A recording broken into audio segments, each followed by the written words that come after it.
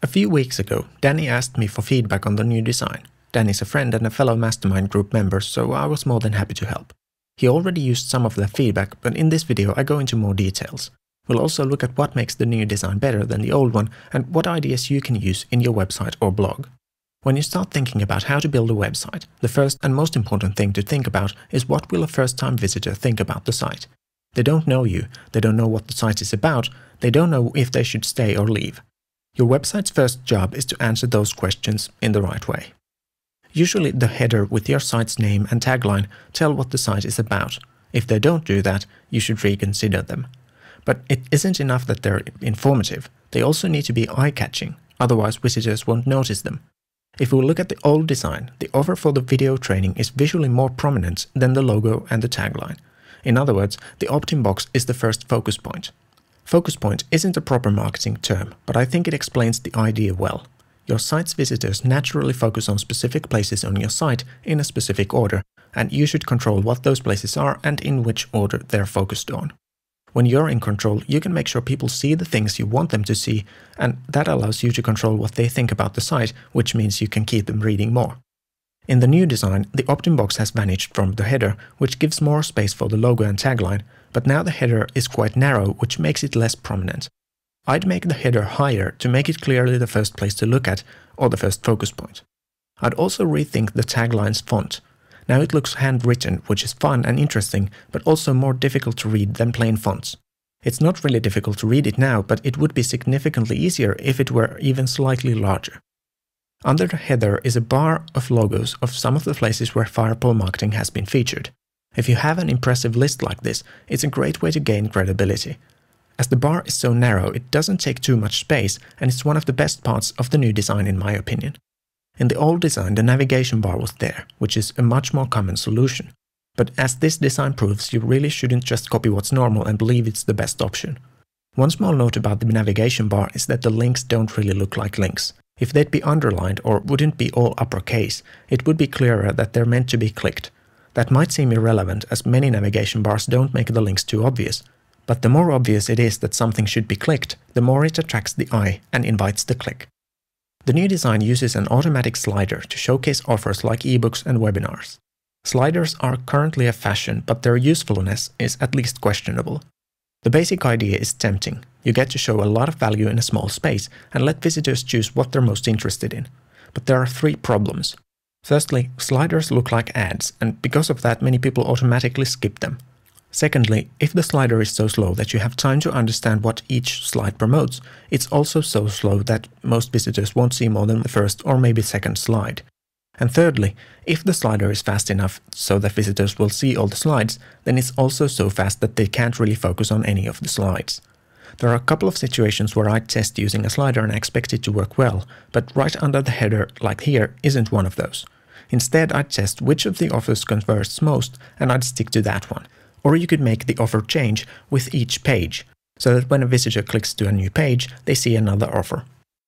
Overall, the top part of the new design is better than the old one, but it does lack a clear first focus point, which would make it more engaging.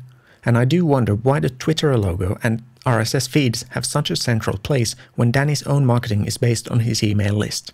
So instead of having those logos, the text join 17,000 plus monthly readers could be larger.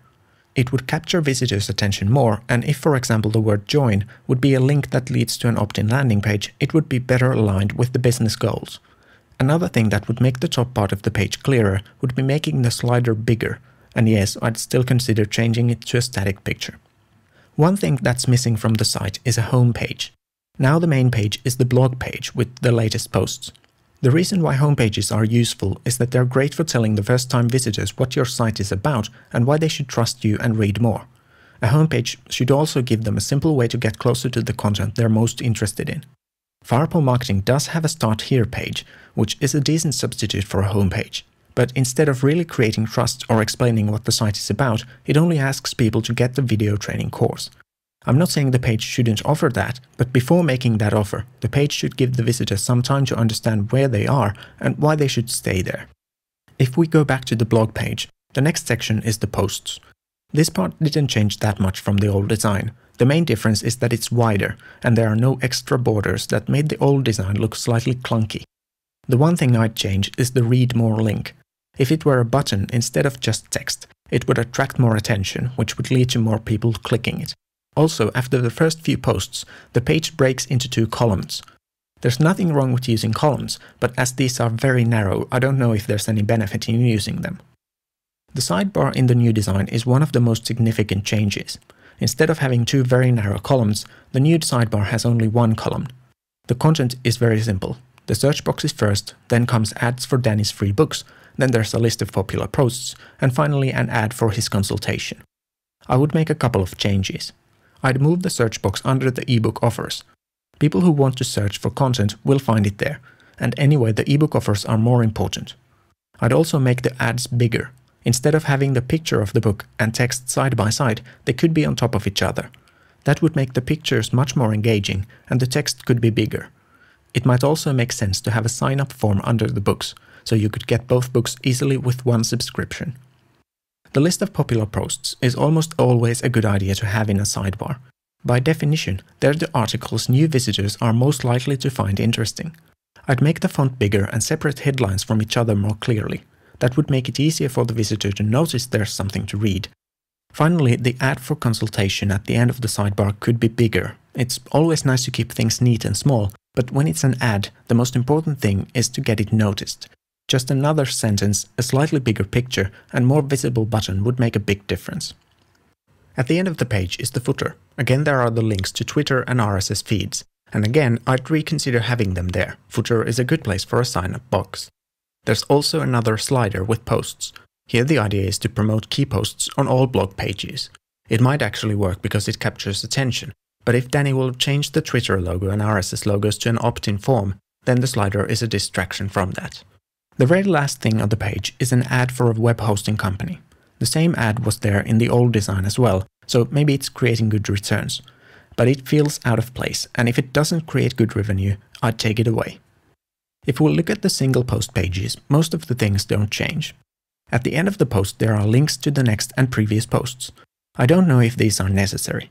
Instead, I'd put a list of popular posts or a list of related posts here. That would make it more likely for readers to find something that's interesting for them. There's also an ad for the video training, which is just the right thing to put here. When the reader has taken the time to read to the end of a post, they're likely to be interested in what your free offer is about. Somewhere along the way down the page, an additional sign-up box appears to the bottom right corner. This kind of box can have a good conversion rate, but that's something you'll only know after testing it. The last page we'll look at is an opt-in landing page for the video training. The layout is a decent compromise between functionality and focus on the content, but I'd take away the links to Twitter and RSS feeds from the header and the web hosting ad in the footer. The navigation bar is questionable. On one hand, it makes it less likely that visitors would leave the site, but on the other hand, it makes it more likely that they'll leave this page without opting in. The video of the page is good, but the other content could be better.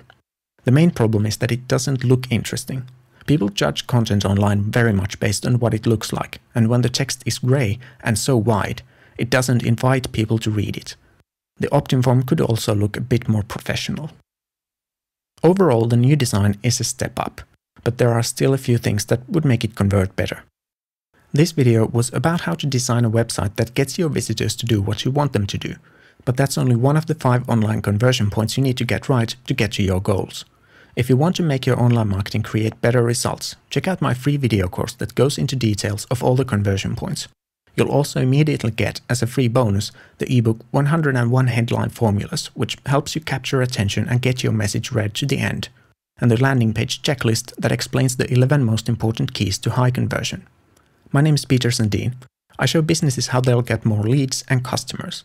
If you have any questions about this video, please leave a comment or send me an email.